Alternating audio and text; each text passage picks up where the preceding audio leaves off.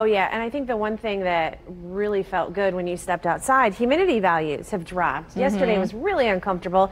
Today we had a cold front move through. We saw lots of sunshine, humidity values falling. Outside right now, we've got mostly sunny skies, just a little bit of cloud cover. Temperature right around normal for this time of year, 79 degrees. Yesterday, we had dew point values close to 70. That is very oppressive humidity. Now they're in the 50s, so very comfortable, cool air mass in place with winds out of the northwest at about 7 miles per hour. We're at 80 degrees in Shelbyville and Columbus is at 81 along with Bloomington. Richmond has fallen to 75. It's 79 in Muncie and 77 degrees currently in Kokomo. Satellite picture shows that we just have a few clouds across parts of central Indiana, but lots of sunshine in parts of uh, South Bend.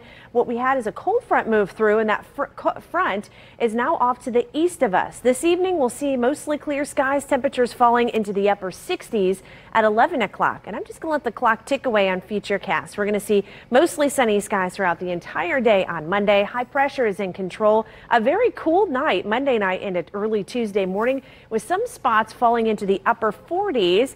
Indianapolis, I think, will fall into the uh, right around that 50 degree range. And then again on Tuesday, look for mostly sunny skies once again. Lots of sunshine tomorrow, 57 degrees at 8 a.m., 69 by lunchtime, and high temperatures will climb into the mid 70s and, and upper 70s in many spots, about 78 in Indianapolis, and right around 73 degrees in Kokomo and Muncie. It's going to be dry for the next several days. In fact, in the next eight days, I only have one day where we have a chance of rain, and we really could use it.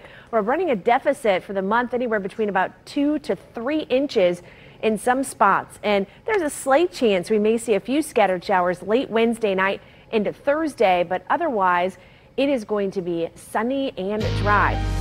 In your Chapman Heating and Cooling eight day forecast, 77 Tuesday, close to 80 on Wednesday with partly cloudy skies. There's those isolated showers on Thursday with highs near 78 and then back into the 70s for Friday and into next weekend.